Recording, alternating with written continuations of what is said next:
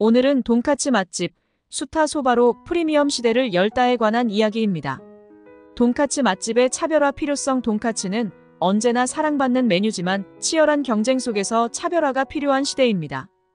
돈까츠 맛집을 운영하시는 사장님이라면 한 번쯤 고민해 봤을 겁니다. 어떻게 하면 우리 가게가 불황에 강한 특별한 메뉴를 선보일 수 있을까? 고민해 보셨을 것입니다. 오늘은 돈까츠 맛집의 프리미엄 시대를 여는 법, 100% 수타 소바를 도입하여 특별한 식사 경험을 제공하고 다양한 고객층을 확보하는 방법을 소개합니다. 1. 왜 돈가스에 수타 소바를 더해야 할까? 주목할 점은 많은 돈가스 집에서 서브 메뉴로 냉소바를 취급하고 있습니다. 서브 메뉴 중 베스트셀러라는 뜻이 되는 걸까요? 일반적으로 주메뉴인 돈가스에 잘 어울리는 메뉴로 취급받고 있습니다. 여기에 프리미엄 식당으로 한 단계 업그레이드 할 수 있는 열쇠가 숨겨져 있습니다. 돈가스는 대중적인 메뉴입니다. 반면 수타소바는 전통과 특별함을 더해주는 프리미엄 아이템입니다. 메밀가루를 직접 반죽하고 잘라 만든 면은 고객들에게 특별한 식사 경험을 선사합니다. 돈가스와 소바의 조합은 기존 돈가스 맛집과 차별화되는 강력한 무기가 될 수 있습니다.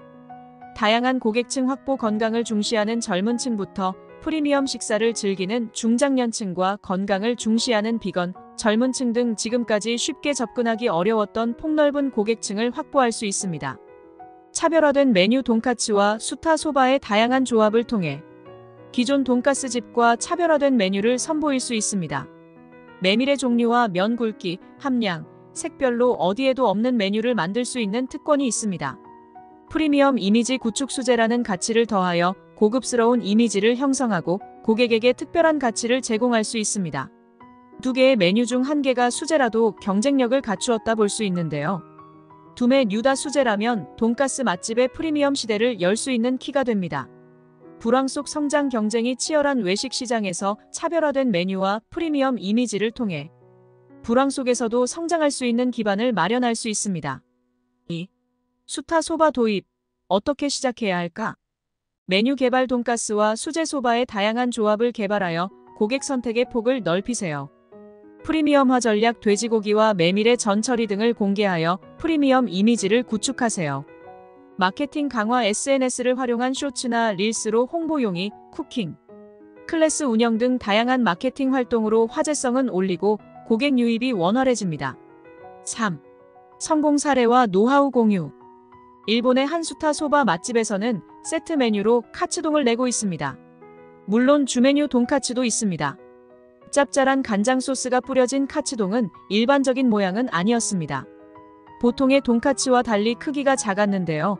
이유를 보니 조리 시간은 짧아지고 구입하는 돼지고기 모양도 어느 정도 자유로워 구입 비용도 아낄 수 있었습니다. 뿐만 아니라 바삭함을 표현하는데도 큰 것에 비해 유리하고 밥 위에 세 조각을 얹는다면 그 숫자에 다양한 소스를 올려줄 수 있었습니다. 마요, 우스터 소스, 오리지널 소스 등으로 한 번에 풍부한 맛을 경험할 수 있습니다. 풍부한 맛과 비견되는 포만감에 대한 사례는 또 있습니다. 햄버거, 빅맥 개발 비화를 보면 1967년 펜실베이니아주 유니언타운의 맥도날드 가맹점주 짐 델리게티에 의해 처음 개발되었습니다. 양이 적다는 판단으로 새로운 햄버거, 빅맥을 만들었습니다. 누구나 하는 흔한 것으로는 성공할 수 없다는 생각이었는데요. 당시 경영진들은 기존의 것을 고수하였다고 합니다. 설득한 것은 델리케티였고 레시피는 bun 3개, 소고기 패티 2장, 슬라이스 치즈 1장으로 big size의 햄버거 시대를 열었습니다. 작은 식당에서 성공적인 프리미엄 돈카츠 맛집으로 변신을 위해 수제소바는 최고의 선택입니다. 100% 수제 소바를 통해 고객에게 특별한 식사 경험을 제공하고 프리미엄 돈가스 맛집으로 거듭나게 됩니다.